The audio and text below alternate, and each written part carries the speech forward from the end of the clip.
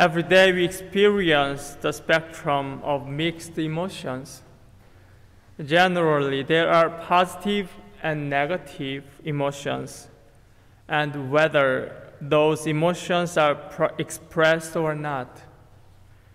When emotions are expressed in words and actions, then it can be said that positive emotions bring out positive reactions, whereas negative emotions bring about negative reactions.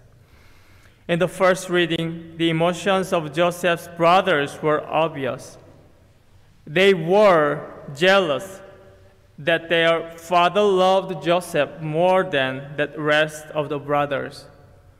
They come to hate him so much that they could not say a civil word to him. That hate turned into an intention to kill Joseph, but Reuben managed to save Joseph from being killed. But it was not so in the gospel parable where the landowner's son was killed by the tenants.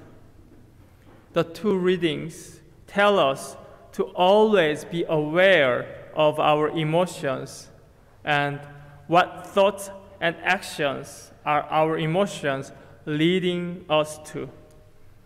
So let us put our emotions into the sacred heart of Jesus and ask Him to make our hearts like His. Then we will think and act as He wants us to.